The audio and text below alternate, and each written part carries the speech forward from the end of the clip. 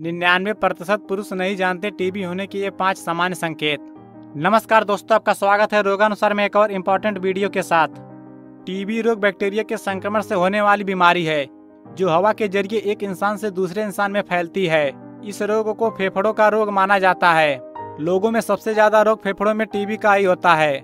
लेकिन यह फेफड़ों से रक्त प्रवाह के साथ शरीर के अन्य भागों में भी फैल सकता है, जैसे कि हड्डियों के जोड़ों, लिम्फ ग्रंथियाँ आंत और मस्तिष्क के ऊपरी झिल्ली आदि। इस बीमारी का पूरा नाम ट्यूबरकुल बेसिलाई है। यह बीमारी इतनी खतरनाक होती है कि अगर आप टीबी के मरीज़ के पास बहुत पास बैठकर भी बात कर रहे हैं और अगर वह खास नहीं रहा हो, तब भी इसके इन्फेक्शन का खतरा हो सकता है। इस रोग का इलाज शुरुआती अवस्था में ही करा लेना चाहिए।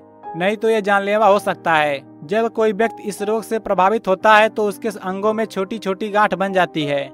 अगर इसका इलाज समय पर नहीं हो पाता है तो धीरे धीरे प्रभावित अंग काम करना बंद कर देते हैं, जो कि अंत में मृत्यु का कारण भी हो सकता है। आज के जमाने में टीबी का रोग अब बुज़ुर्गों तक सीमित नहीं रह गया है, बल्कि यह अब कम उम्र के लोगों में भी होने लगा है। ये बहुत ही कम लोग जानते हैं कि टीबी का प्रकोप ज़्यादा जब हो चुका होता है, तब जाकर इसके संकेत दिखाई देने शुरू होते हैं। यदि आप इन संकेतों को सही समय पर पहचान लेंगे तो आप अपनी जान बचा सकते हैं। पुरुषों और महिलाओं में छह रोग यानी कि टीबी के संकेत एक जैसे ही होते हैं। लेकिन महिलाओं का इम्यून सिस्टम पुरुषों की तुलना में ज़्यादा मज़बूत होता है, जिसकी वजह से उन पर टीबी या अन्य बीमारी का कम प्रभाव होता है। आइए दोस्तों जानते हैं कि जब टीबी होता है तो उसके पहले शरीर में कौन से पाँच संकेत दिखाई देते हैं? पहला संकेत, खांसी आना। टीबी फेफड़े की बीमारी है और इसके शुरुआती लक्षण खांसी आना है।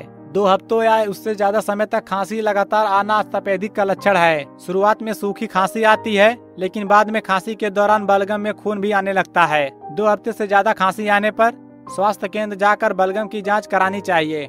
लगातार खांसी आने से पुरुषों को सांस लेने से संबंधित अन्य बीमारियाँ भी होने लगती हैं। दूसरा संकेत, थकावट होना। टीबी होने पर आदमी की रोग प्रतिरोधक क्षमता बहुत कम हो जाती है और उसकी ताकत भी समाप्त होने लगती है। सामान्य दिनों की अपेक्षा टीबी होने पर हल्का और छोटा सा काम करने पर भी आदमी को थकान होने लगती है। छह रोग यानी कि टीबी होने पर आदमी को रात को सोते वक्त पसीना आता है। मौसम चाहे जैसा भी हो, ज़बरदस्त ठंड पड़ने के बावजूद भी रात को तेज पसीना आता है। तीसरा संकेत, सांस का फूलना। छह रोग यानी कि टीबी होने पर ज़बरदस्त खांसी आती है, जिससे सांस लेने में दिक्कत होती है। कई बार ज़्यादा खांसी जाने की वजह से आदमी की सांस भी फूलने लगती है। छह रोग होने पर आदमी के शरीर के अन्य भाग भी प्रभावित होते हैं। शरीर के हड्डियों के जोड़ों, मांसपेशियों और सेंटर नर्वस सिस्टम में दिक्कत शुरू हो जाती है। चौथा संकेत, कमर में दर्द होना। कमर दर्द की कई वजह हैं। जिसमें गलत तरीके से बैठना, सोना और चलना शामिल है।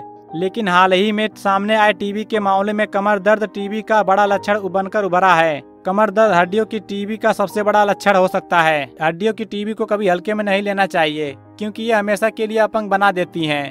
ये नर्वस सिस्टम को प्रभावित करती है, इसलिए ज़रूरी है कि समय रहते इसका पता चल जाए और वक्त पर सही इलाज भी मिल जाए। पांचवा संकेत, वज़न का कम होना। वज़न कम होना, वज़न घटना, अगर अचानक होने लगे तो खुश न हो। क्योंकि अगर डाइटिंग नहीं कर रहे हैं, आप वज़न घटाने के लिए वर्कआउट भी नहीं कर रहे हैं तब भी तेज़ी से आपका वज़न घटना आरंभ हो गया है तो आपको इस पर ध्यान देने की ज़रूरत है। बिना किसी कोशिश के वज़न का कम होना, वज़न का घटना और थकान टीबी जैसी घातक बीमारी के संकेत हो सकते हैं। इसके साथ ही दोस्तों, आपको ये भी बता दें कि वे कौन से लोग होते हैं, जिनको टीबी होने का खतरा सबसे ज़्यादा होता है। अच्छा खान पान न करने वालों को टीबी ज़्यादा होती है।